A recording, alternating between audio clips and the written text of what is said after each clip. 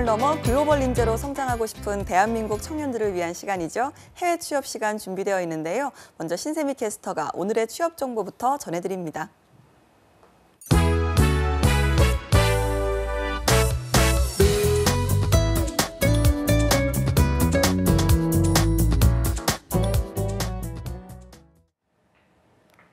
네, 안녕하세요. 취업 정보 알려드림의 신샘입니다. 오늘의 대기업 채용 소식입니다.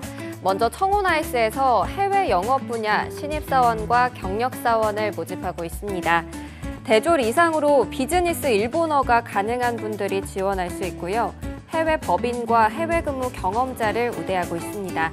지원서는 12월 20일 자정까지 받고 있습니다. GS그룹 계열사인 삼양 인터내셔널에서는 재무팀 경력 직원을 채용하고 있습니다. 대졸 이상으로 토익이 800점 이상, 그리고 재무, 회계 업무에서 3년에서 5년 이하의 경력을 가지고 있어야 하는데요. 지원서 마감은 12월 21일 자정까지입니다. 그리고 BC카드에서는 제휴 서비스 기획과 운영을 담당할 경력사원을 모집하고 있습니다. 전문대학 졸업 이상으로 서비스 제휴와 계약, 정산과 관련한 실무 경험을 필수적으로 갖춰야 하는데요. 지원서는 12월 24일 자정까지 받습니다. 마지막으로 STX 건설에서 IT 담당자를 모집하고 있습니다. 전문대학 졸업 이상으로 경력이 5년 이상, 10년 이하인 분들이 지원할 수 있고요.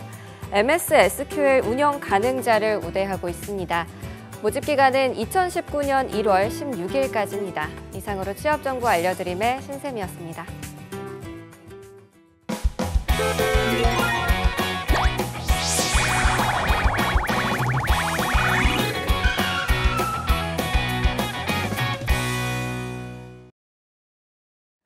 네, 해외 취업 어디까지 가봤니? 오늘은요 커리어 칼리지의 김한기 교수님과 함께합니다. 어서 오십시오. 네, Merry Christmas라고 해야 되나요? 다음 미리- 주죠? 미리 아, 미리? 크리스마스인가요? 네, 네. 그러네요. 오늘이 2018년 김한기 교수님과 함께하는 마지막 방송이라고 들었거든요. 네, 금년도. 그러니까요. 네, 맞습니까? 네. 예. 아, 많이 달렸네요. 네, 네, 연말까지 그러니까요. 이렇게 달리고 여러 가지 그러니까요. 나라들 이렇게 했는데 네. 정리하는 오늘 하루가 되겠네요. 알겠습니다. 약간 2주 정도 올해가 남았는데 네. 어, 앞으로 연말은 어떻게 보낼 계획이신지 궁금하네요. 저, 네. 시간 없어요. 시간 없이 막 그냥 달리고 있습니다. 네, 지금도 네. 대학생들 만나고 있고요. 네. 아, 준비하는 과정이랑 내년도 음, 취업 준비시키고 예. 있습니다. 이맘때가 참 중요한 시기죠. 그렇죠. 사실. 예. 네. 겨울방을 어떻게 보내느냐에 따라서 또 취업을 얼마나 빨리 또 더 마음에 드는 곳에 갈 수 있는지가 정리하는 마음. 예, 다지는 시기니까 예. 이맘때 좀 많이 뜨겁게 달려야 되지 않을까라는 생각이 듭니다. 네. 아, 저희가 중국 이야기 계속해서 하고 있잖아요. 네. 오늘이 중국도 마지막 시간이라면서요. 그렇죠. 중국 네. 마지막이고요.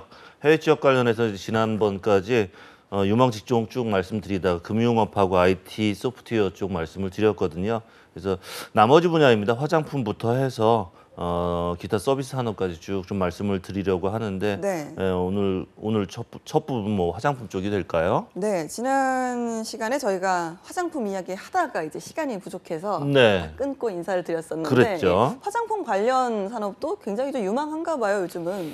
음, 중국 시장에서 하- 한국 화장품 열기는 대단합니다. 뭐 상식 있는 분들 또 귀동령 하신 분들은 잘 아실 텐데요. 한국 기업들이 상당히 많이 진출되어 있습니다. 어, 중국 내에. 그래서 기업들에서 이제 직원 교육이나 영업, 서비스, 주문 관리, 구매 각종 직무들에서 굉장한 어, 인력 수요가 많은 편입니다. 거기에다가 이제 한국 화장품이 있기 때문에 중국 내에서도 인터넷 몰들이 많이 운영되고 있거든요. 그 인터넷 몰에서 한국 화장품 브랜드 소싱하기 위해서 굉장히 혈안이 되어 있고 한국 MD들 선호하는 그런 분위기가 어, 조성이 되고 있습니다. 예, 요즘은 특히나 좀 중국 그 유튜버들이라 그러나요? 왕홍들이 네. 화장품을 이제 사용하고 이런 영상들이 엄청난 붐이 있다 뭐 이런 뉴스를 저도 확인을 했었는데요. 장난 아닙니다. 예, 네. 그러면 네. 중국 화장품 사업에 진출을 하려면 어떻게 해야 될까요? 음, 앞에서 이제 소개해드렸던 그 직무 중에 일반 경영 지원 업무 제외하고는 모든 직무들이요. 관련 업계에서 이제 경력을 좀 중시하고 있습니다. 그러니까 대학을 막 졸업한 신규 어, 신입사원들한테는 조금 진입 장벽이 높은 편이다라고 보여, 보여 지는데 요 점은 조금 참고를 해 두셔야 될 것 같아요. 따라서 이제 국내에서 한국 화장품 업계에 대한 경력자분들이 도전해 보시면 좋을 것 같고요. 뿐만 아니라 이제 중국인들을 대상으로 업무를 진행하셔야 되기 때문에 유창한 중국어 실력 또한 어, 수반되어야 되는 그런 능력입니다. 알겠습니다. 굉장히 좀 유망하다라고 하셨는데요. 그러면 네네. 좀 임금은 어느 정도 수준인지 궁금하네요. 음, 해당 직종 임금 급여인 경우는 뭐 큰 차이를 좀 보여요. 경력에 따라서. 네. 어, 관련 기- 직종에 경력 2년 정도 보유한 신입사원 격인 데는 세후 수령액이 인민폐, 인민폐로 15,000, 한화로 약 2,500만 원 정도 이상 수준입니다. 대다수 기업들이요, 2,500만 원에다가 주택 지원하고 있고 생활비 일부를 지원 보조해 주고 있기 때문에 네. 연봉이 다소 좀 높은 것으로 판정이 되고 있습니다. 네. 어, 표에서 한번 보시게 되면 이제 주식회사 라파스가 중국 북경에 어, 있는데요. 여기에서 채용한 그런 것들 보면은 대리점 B2C 영업 하실 직원들을 모집을 하는 그런 공고입니다. 물론 정규직이고요. 학력은 대졸 이상이어야 되면서 경력을 7년 이상자를 요구를 하고 있어요. 7년이면은 국내에서는 과장을 앞두고 있는 대리 그렇죠. 진 정도 네, 되죠. 네. 굉장히 많은 능력들을 경력들을 요구하고 있는 거고요. 외국의 능, 능력도 보시게 되면은 중국어는 최상 잘해야 됩니다.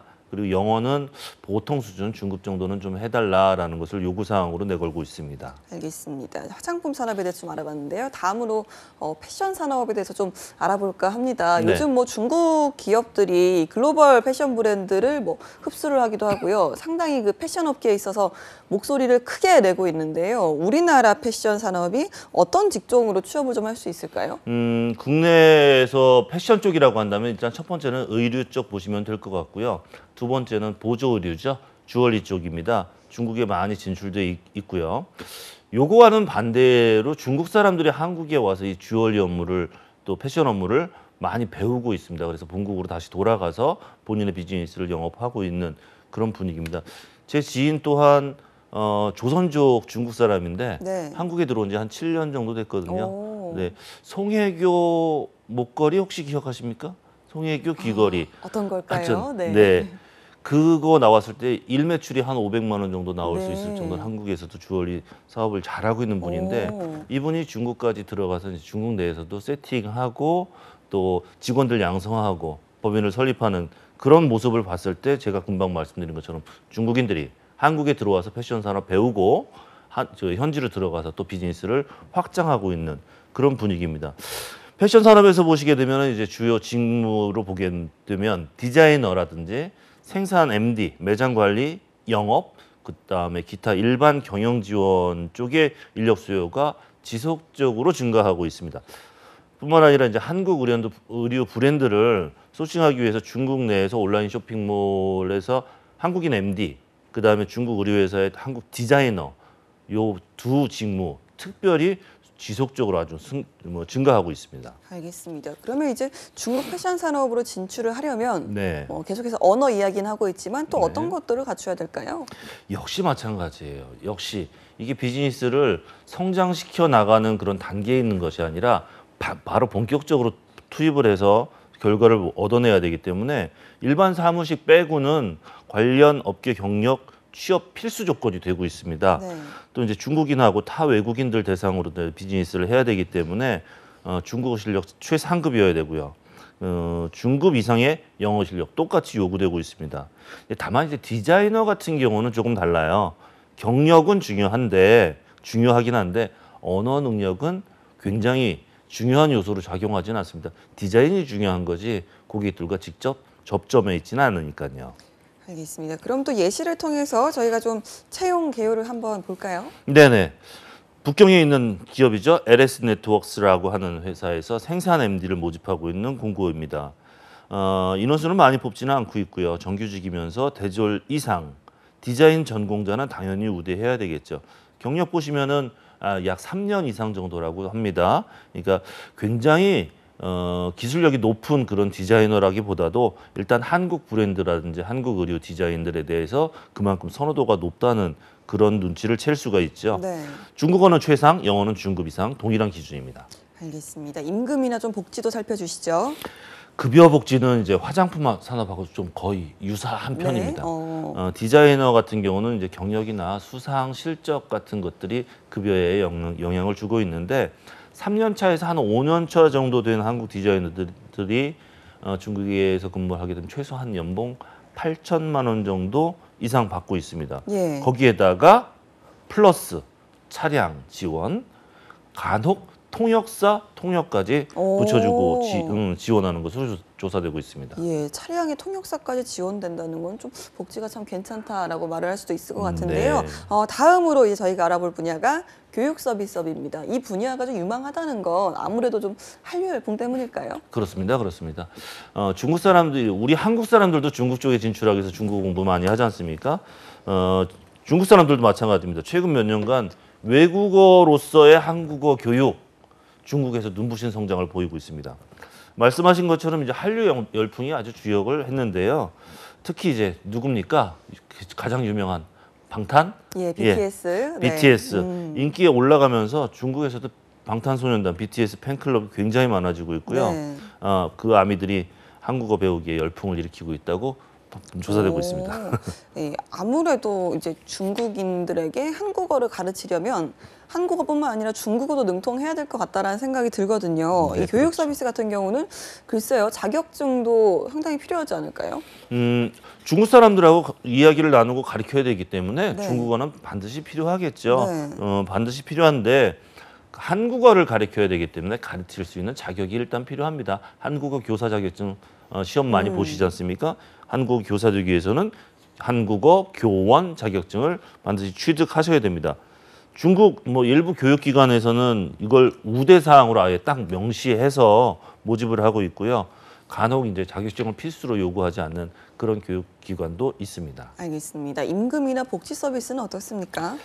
네네네. 요거는 이제 조금 시급제로다가 좀 적용이 되고 있어요. 교육 서비스 쪽은. 네.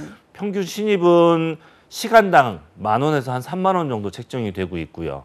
경력직은 뭐 경력에 따라 틀리겠습니다만 3만 원에서 약 7만 원 정도까지 시급으로 절- 정해집니다. 시급 7만 원이면 적은 거 아니거든요. 네. 그런데 이게 좀 몇 시간이나 일을 할 것이냐도 중요하잖아요. 러닝 타임도 네. 굉장히 중요하죠. 그러니까요. 예. 예. 뭐그 외에도 이제 기타 복지로는 숙식이나 항공권 제공 등 해당 기관마다 좀 많이 차이를 보고 있, 지만 이런 항목들을 좀 꼼꼼히 체크하셔서 내가 일할 수 있는 곳인가 선정하시면 되겠습니다. 음, 알겠습니다. 그러면 어떤 인재를 원하는지 구인 사례를 통해서 좀 살펴볼까요? 네네. 베이징에 있는 K무브센터 취업 카페에 이런 것들이 나와 있어요. 백제 어학원이라고 해서 상해에 있는데요. 네. 한국어 교사를 모집합니다. 한 명 정규직 전문 대졸 이상이면 돼요. 4년제까지 아니어도 한국어 교원 자격증이 있으면 되고요. 경력자를 우대하되 교원 자격증 소지자를 우대합니다. 중국어는 중상 의사소통 정도만 되면 된다라고 어, 명시해서 모집을 하고 있습니다. 알겠습니다. 다음으로는 이제 어, 유망사로 여섯 번째죠. 의료 서비스업인데요. 네. 사실 우리나라를 방문한 유커들 중에 이제 의료의 목적으로 의료 관광을 오는 유커들 상당히 많은데 중국 현지에서도 한국식 의료 서비스가 인기인가 봐요. 아, 그렇죠, 그렇죠.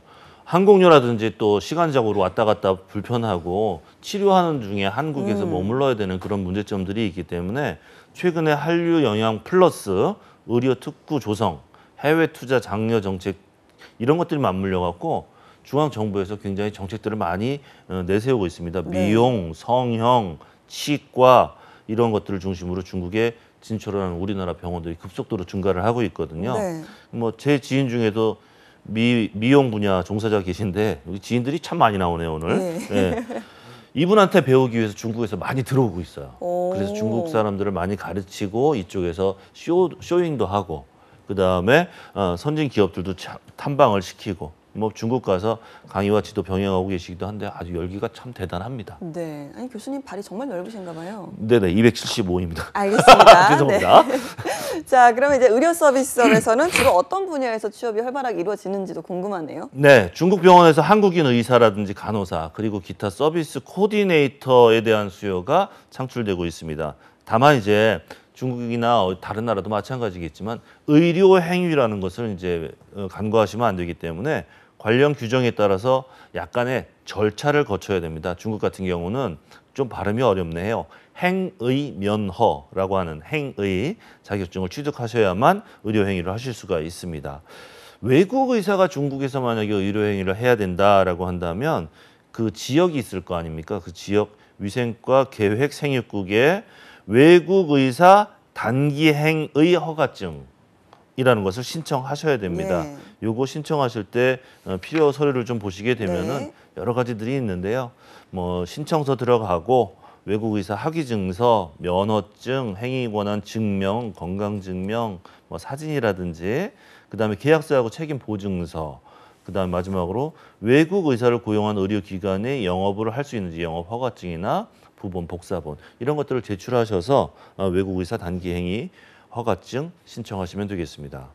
외국 뭐 도시나 각 지역 담당자에 따라서 요구하는 서류가 조금씩 달라요. 네. 그러니까 어, 성별로 체크를 좀 개, 개별적으로 해주시기 바랍니다. 알겠습니다. 이건 좀 의사의 경우였고요. 뭐 네. 말씀하신 간호사나 뭐 코디네이터 다른 직종들도 자격증이 필요할까요? 물론입니다. 뭐 간호사 같은 경우도 타국 말씀드렸던 거랑 유사합니다. 어, 외국 간호사 직업 수준 평가 시험을 통과하셔야 돼요. 그래서 1년짜리 자격증이 발급되거든요. 1년 경과하면은 연장하실 수 있어요. 그 다음에 이제 뭐 치기공사 같은 거 또는 다른 기타 보건 의료 인력에 대한 자격 같은 경우는 특별히 정하고 있지 오, 않으니까 네. 간호사 부분만 좀 신경 쓰시고 다른 음. 부분들은 어, 편안하게 또 틈새 시장으로도 공략하실 수 있습니다. 알겠습니다. 자, 그렇다면 이 분야에 또 임금 같은 부분도 한번 짚어볼까요? 네, 임금 보시죠. 의료 서비스 같은 경우는 한국 사람 만나지 않습니다. 대부분 중국 사람 만나니까 네. 중국어 필수입니다. 음. 회화 정도 요구되고요. 현지 의료인들, 의료 중국 사람들 월 평균 급여가요. 우리나라 하나 돈으로 약 150만 원 정도 어, 되고 어, 좀 열역 열악한 편입니다. 이제 하지만 중국에 진출돼 있는 한국 병원의 의사라든지 간호사 급여는 중국어 능력 더해져야죠. 또 해외 근무 고려해야죠. 이런 것들을 고려하면 한국에서 의료 의료- 의료인으로서 근무하시는 것보다는 다소 높은 수준인 것으로 지금 알려져 있어요. 다만 어, 의료진들의 연봉은 현재 공개되어 있지 않습니다. 그 종사하시는 분들도 그 금액을 공개하기를 꺼려 하- 하고요. 특별한 직무이기 때문에 그런 것 같습니다. 중국 진출에 있는 한국 병원이나 특히 이제 성형외과나 치과 같은 경우에 병원 코디네이터 인력을 많이 요구를 하고 있는데 경력자 한국에서 경력 있으신 분들 우대하고 있고요. 중국어 능력이 뭐 우대 사항이기도 합니다. 그 밖에는 별도 특별하게 요구하는 조건들은 없습니다. 코디네이터 같은 경우는 이제 급여 차이가 조금 있어요. 경력에 따라서 최소 연봉이 한 1,800 정도 됩니다. 네. 거기다가 숙식, 입사 시 편도 항공권 제공해 음. 준다라는 복지 어, 보장되는 편입니다. 알겠습니다. 병원 코디네이터에 대한 수요가 좀 많다라고 하셨는데요. 네네. 어떤 조건의 인력을 원하는지 예시를 통해서 한번 살펴볼까요? 그렇습니다. 예, 상해에 있는 예스타 의료미용그룹 유한공사 걔- 그쪽 중국에서는 유한공사라고 되죠. 행정직으로다가 직무가 구분돼 있고요. 고객 상담을 하라고 합니다. 어, 두 명 모집할 때 정규직이고 대졸 경력 2년 이상 중국어 중상 그러니까 일반적인 커뮤니케이션 하고 이쪽 업계에 대해서 진입해서 대략적인 분위기를 알- 아는 사람 정도면 가능하다라고 되어 있습니다. 알겠습니다. 자, 유망산업 마지막 분야입니다. 기타 서비스업이라고 하셨는데요. 네네. 어, 어떤 서비스업에 해당될까요? 네. 기타 서비스업이라고 한다면 이제 여러 가지들이 있을 수 있는데 어 뭐 항공이라든지 뭐 이런 것들 빼고 호텔 서비스업 그다음에 일반 서비스업 네. 이런 것들이 많이 보여지는데요. 항공 부분 같은 경우도 말씀을 좀 드려야 될까요? 네, 알려주시죠. 네네. 네. 보통 이 항공 승무원 하면 중국에서도 이제 현지 한국 인력 수요를 좀 있나 봐요, 수요가. 네, 그렇습니다. 뭐 아랍에미리트나 싱가포르 떠올리기도 좀 쉬운데요. 지금 중국하고 이제 사드 갈등이라는 문제가 좀 있어서 이런 부분이 좀 해소되어야 되겠지만 신규 노선들을 많이 취향을 시켰거든요. 네. 그래서 어, 실제로 중국 하이난 공항 같은 경우 15년도 2015년 11월에 한국 승무원 약 200명을 이제 대거 채용하기도 오. 했었어요. 어, 2017년 6월에는 또 300명 정도를 또 한국, 중국, 한중 노선 그 다음에 기타 중국 국내 노선에 탑승시키는 승무원들 많이 에, 채용을 했고요. 네. 사드 문제만 좀 헤빙 무드로 들어가게 된다면 은 또 우리 이쪽 부분에 있어서 하- 많은 분들을 음. 채용하지 않을까 싶습니다. 알겠습니다. 사실 뭐 국내에서는 이 항공 승무원이 워낙 경쟁률이 높잖아요. 높죠. 그러다 보니까 취업하기가 참 쉽지가 않은데 네네. 중국으로서의 좀 항공 승무원 취업은 어떨까요? 중국 삼대 항공사 중에서는 이제 한국 인재를 좀 많이 채용하고 있어요. 특히 이제 동방항공 같은 경우 네. 채용 절차하고 지원 요건 좀 잠깐 보여드리게 되면은 네. 서류 전형 CB 양식으로 작성하고요. 1차 그룹 인터뷰, 음. 2차 그룹 인터뷰, 그 다음에 최종 면접할 때 약식으로 신체 검사를 합니다. 그 다음에 교육 훈련 약 3개월 정도 시키고요. 중국 항공국에서 주관하는 승무원 자격 시험을 본 다음에 신체 검사 이제 총체적으로다가 네. 자세히 들어가고 통과하면 승무원 자격증을 발급해 주는 순서로 진행이 되고 있습니다. 네. 뭐 지원하는 요건들 보게 되면은 초대졸 이상이에요. 그리고 시력 나안 시력으로 0.1이고 교정은 1.0. 언어 능력 관심 있으실 것 같은데요. 영어는 약 토익 550점 정도 이상, 토익 스피킹 6급, 오픽 IM 이상. 중국어는 HSK 3급 이상이면은 되고 또는 뭐 오픽 2 이상 어, 정도 드시면은 지원하실 수가 있겠습니다. 알겠습니다. 고용 형태나 조건도 좀 알려주시죠.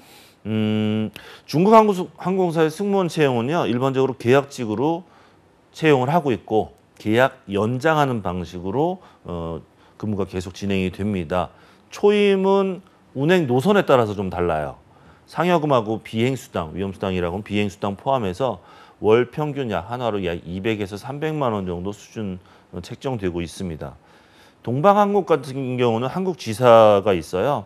이런 같은 경우는 한국에 거주하면서 교육만 중국에서 받으면 되는 경우도 있습니다. 한국 지사가 없는 하이난 항공 같은 경우는요 중국에 근거지를 두고 있기 때문에 그쪽에서 근무하셔야 어. 되고요. 만약에 이제 중국에서 거주한다라고 한다면 항공사 무료로 기숙사 아파트 제공해 주니까 숙소 걱정 안 하셔도 되고 직계 가족들 무료 항공권 뭐 할인해서 항공권 주시는 거 연 월차 출산 휴가 여가 생활 지원비 보험 혜택 계열사 할인 복지는 항공 승무원들 상당히 많다고 보여집니다. 그렇네요. 네. 자, 저희가 좀 항공 서비스 서비스 알아봤고요. 다음으로가 호텔 서비스 맞습니까? 네네 호텔 서비스도 이제 한국 사람들 많이 채용하고 있습니다. 관광객이 많거든요. 한국 사람들 특히 예. 이제 베이징, 상해, 음. 천진 같은 지역에는 한국 기업이 많이 들어가 있기 때문에 업무차, 관광차 많이 방문을 하고 있습니다. 그래서 호텔리어에 대한 관심도가 높아지고 있습니다. 이유는 뭐냐면요. 한국 손님들 비중이 커서 한국인 타겟팅으로 해서 영업부라든지 객실부 또 한국 직원들을 많이 뽑고 있- 싶어 하기 때문입니다. 해당 직군에서 이제 한국인 수요는 대부분 한국 사람들을 응대합니다. 한국 사람들을 응대하기 때문에 중국어 완벽하게 요구하지는 않아도 돼요. 중국 직원들과 의사소통 정도만 되면 됩니다. 되기 때문에 아, 한국어 잘 하시는 분들이죠. 중국어는 많이 부담 갖지 않으셔도 됩니다. 또 이제 해외 호텔과 마찬가지로 고객과 의사소통이 가능한 수- 어, 약간의 영어, 의사, 회화 능력 정도는 필수적으로 요구되고 있습니다. 알겠습니다. 보통 이제 어, 중국 같은 경우는 전반적으로 임금 수준이 높진 않지만 네. 특히나 서비스업 같은 경우는 그 중에서도 좀 낮은 편으로 알려져 있는데요. 호텔 네. 같은 경우는 어떨까요? 호텔 급여 뭐 체인과 관련돼서 해당 도시나 직무 그다음에 경력별로 이 급여가 좀 많이 차이가 나고 있습니다. 호텔 같은 경우 초년생인 경우에는 인민폐로 만 어, 한화로다 약 160만 원 정도 수준이죠. 그다음에 객실부나 식음료부는 이거보다 좀 낮은 편입니다. 어, 급여 수준은 이제 높지 않지만 반대급부로 좋은 것이 뭐냐면 승진이 좀 빠른 편이에요. 우리나라처럼 승진 연한이 딱딱 정해져 있는 것이 아니라 근무 능력이라든지 서비스 만족도 이런 것들을 봐서 가능성이 있으면 다음 step으로 step으로 승진시켜주는 그것이 바로 이제 급여 상승에 어, 영향을 주는 목표로 취업을 하시는 분들도 있습니다. 어, 북경에 있는 베이징 힐튼 호텔에서 세일즈 매니저를 채용하는 그 규정을 한번 보시면 정규직이고요. 역시 이제 전문대졸 이상이기 때문에 어, 전문대에서 호텔과 관련된 그런 비즈니스 학과 어, 전공하신 분들이면은 어, 틈새 시장 노릴 수 있을 것 같고요. 중국어는 중상 정도 하- 해주시면 되겠습니다. 경력 관련 음, 없다고 표시가 네. 되어 있습니다. 알겠습니다. 해외 취업, 뭐 중국에서의 해외 취업 유망 분야에 대해서 좀 짚어봤는데요. 네. 정말 많네요. 일단. 많죠 중국. 네. 그만큼 참 중국 해외 취업 유망하다라는 생각이 드는데요. 이 네. 밖에도 또 저희가 한번 체크해 볼 수 있는 유망 직종이 있다면요? 정말 많이 알려드리려고 진짜 부지런히 달리고 있습니다. 네. 무역이나 유통업 분야하고요. 자동차 분야도 유망한 직군으로 말씀드리고 싶습니다. 한국 물품 인기가 굉장히 높아지면서요. 정치적으로 특별한 이슈가 발 뒤꿈치를 잡지 않는 한 지속적으로 교육이 이루어질 것으로 전망하고 있습니다. 보통 이제 대졸 이상 학력 가진 경력자 우대가는 경험은 좀 있기는 경, 경향은 있지만 필수적인 요건들은 아니거든요. 그러니까 경력이 없다. 나는 중국에 취업 못하는 거 아니야. 사전에 포기하지는 마시기 바랍니다. 언어적인 부분 때문에 또 고민하시는 분들이 많아요. 무역 유통업 같은 경우는 특성상 중국어하고 영어 능력은 상당히 높은 수준을 요구를 하고 있습니다. 어, 반면에 이제 급여는 한화로 약 100에서 한 140만 원, 150만 원 언더로 잡혀 있는데요. 임금 상승폭이 높은 편이에요. 그리고 주택 제공해주고 있고 생활비 보조까지 해, 해주기 때문에 단순히 급여, 연봉만 보고서 어, 포기를 하지는, 하지는 않으셨으면 좋겠습니다. 자동차 업계 중에서도 이제 부품 업계를 좀 집중해서 보려고 하는데요. 연봉은 2, 3천만 원 정도 됩니다. 나머지 복지는 비슷하시고요. 그래서 목표 직무를 삼으셔도 어, 나쁘지 않으리라고 판단됩니다. 알겠습니다. 그리고 또 이 중국 현지에 진출한 우리나라 기업들도 상당히 많잖아요. 네. 이들 회사에서도 좀 필요한 인력 수요가 많, 많지 않을까 하는 생각이 들거든요. 어, 그렇죠, 그렇죠. 대표적으로 이제 롯데그룹이라든지 포스코 이런 회사들이 중국에 진출한 한국 기업이 이제 점차 증가하고 있거든요. 요런 걸 토대로 해서 중국 현지 법률에 근거해서 회계, 감사, 세무, 재무 자문, 경영 진단 등 서비스를 포, 포괄적으로 제공하기 위해서 회계 세무법인들이 많이 설립되고 있는 추세입니다. 이때 이제 한국 국적의 회계사라든지 세무 전문가 이런 분들을 많이 필요로 하고 있습니다. 알겠습니다. 저희가 장장 5주간에 걸쳐서 중국 해외 취업 소식 알아봤는데요. 마무리를 하면서 교수님께서 어, 중국 취업 준비하시는 분들께 한 말씀 해주신다면요. 어, 크게 그림을 그린다면 중국 과거에 선호했던 것만큼 지금 선호도가 높아지지 않고 좀 다운되는 그런 분위기는 있습니다. 게다가 이제 여러분들도 아시겠지만 정치적인 그런 영향들이 한국에 많이 영향을 주면서 아 다소 중국이 좀 어려워지는 거 아닌가라고 생각하시는 분들이 많은데요. 아직은요 중국이라는 나라가, 나라가 우리나라에 큰 영향을 주고 있는 인접해 있는 국가이기도 하고요. 또 우리나라가 지금 북한하고의 여러 가지 교류 관계라든지 이런 것들이 조금만 잘 풀리게 되면 다양한 분야의 어, 루트가 열릴 거라고 보여집니다. 저는 뭐 개인적으로 중국으로 다 통하는 육, 뭐 철로 예. 이 부분에 대해서 가능성을 좀 높이 보는 높이 보는 개인적인 소견이 있습니다만 그렇게 된다 그러면 중국 쪽으로 다 진출할 수 있는 다양한 직무들과 그런 업종들이 늘어날 것이라고 판단되니까 젊은 청춘들 도전하시고 좋은 결과들 얻으시기 바랍니다. 알겠습니다. 저희가 이렇게 좀 중국을 드디어 마무리를 했네요. 그러게요. 예. 혹시 다음 나라는 비밀일까요? 다음 나라는 네. 네. 지금 작가님 우리 이성미 작가님이랑 막 심혈을 겨- 거쳐서 토론을 네. 하고 있습니다. 사실은 오늘 뭐 연말 특집으로다가 예. 좀딴 걸 하나 하려고 했는데 네. 중국을 한 주 더 말씀드려야 되겠기에 음. 했고요. 다음 주에는 좀 다음번 방송에는 네. 알찬 예, 소식으로 신년 다- 특집으로. 신년 특집으로 네. 준비해 오도록 하겠습니다. 네, 교수님 저희는 그러면 내년에 뵙겠네요. 그러게요. 네, 한해 동안 고생하셨습니다. 아유 감사합니다. 네.